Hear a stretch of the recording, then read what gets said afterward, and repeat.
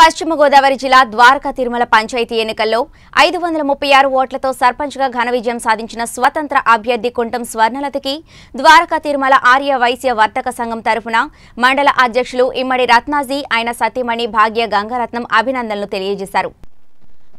ఈ కార్యక్రమంలో ఇమ్మడి రత్నాజీ మాట్లాడుతూ గ్రామంలో పలు సమస్యలు ఉన్నాయని ముఖ్యంగా త్రాగునీటి సమస్యలు పారిశుధ్య సమస్యలు ఉన్నాయని ఈ సమస్యలను వీలైనంత తొందరగా పరిష్కరించాలని కోరారు. అలాగే ద్వారకా తిరుమల ప్రజలందరూ వారి మీద పెట్టుకున్న నమ్మకాన్ని వమ్ము చేయకుండా నిరంతరం ప్రజాసేవ చేయాలని కోరారు. సర్పంచ్గా గెలుపొందిన కొంటం స్వర్ణలత మాట్లాడుతూ తమకు ఓటు వేసి గెలిపించిన ప్రతి ఒక్కరికి పేరు పేరున ధన్యవాదాలు తెలుపుతూ తమకు ఇంతటి ఘన విజయాన్ని అందించిన ద్వారకా తిరుమల ప్రజలకు జీవితాంతం రుణపడి ఉంటామన్నారు.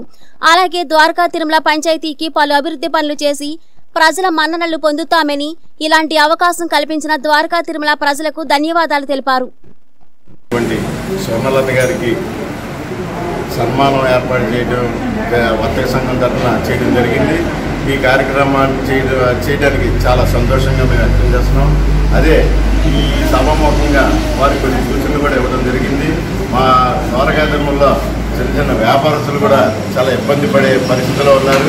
వారికి అందరికీ కూడా ఒక షెల్టర్ లాగా ఒక కాంప్లెక్స్ లాంటిది పంచాయతీ ప్లేస్లో ఏర్పాటు చేసి చిన్న చిన్న వ్యాపారస్తులు కూడా డెవలప్ చేసే విధానంతో కృషి చేయాలని ఈ సభాముఖంగా సోమనాథ్ గారిని అభివృద్ధి అనుసరించిన ద్వారకాంతర గ్రామ ప్రజలకు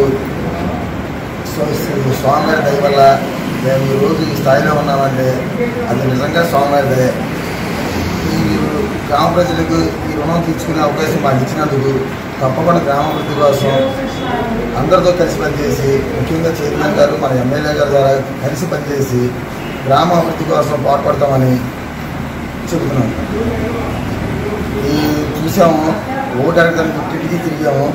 డ్రైనేజ్ వ్యవస్థ అసలు బాగలేదు ముఖ్యంగా ఫస్ట్ డ్రైనేజ్ వ్యవస్థ గురించి మరి అలాగే చాలామంది పెన్షన్ రావట్లేదని ఇల్లు ఇవ్వని చాలామంది చెప్పారు. అవన్నీ కూడా లేట్ చేయకుండా ప్రమాణ స్వీకరించిన తర్వాత ఎమ్మెల్యే అవన్నీ పరిగణలోకి తీసుకుని మేము చూసినవన్నీ కూడా ఒక్కొక్కటి ఒక్కొక్కటి తొందరగా చేసి మా నాన్నగారు మా మా అమ్మగారు ఊరికి ఎలా సేవ చేశారు వాళ్ళు ఎంత మంచిగా తెచ్చుకున్నారు అందుకన్నా ఎక్కువే పేరు తెచ్చుకునేటట్టుగా మేము నడుచుకుంటాము. ఎవరి మనసును ఒప్పించుకోకుండా మేము గ్రామాభివృద్ధి కోసం సరైన నిర్ణయం తీసుకోవడానికి వెయిట్ చేస్తున్నాము. అందరినీ కలుపుకొని అందరినీ అడిగి ఒక మంచి నిర్ణయం తీసుకుందామనే ఆలోచనలో మేము ఉన్నాము. అది అందరు రక్షిస్తారని మేము ఆశిస్తున్నాము. ఆ స్వామి ఆశీస్సులు మాకు ఉండాలి.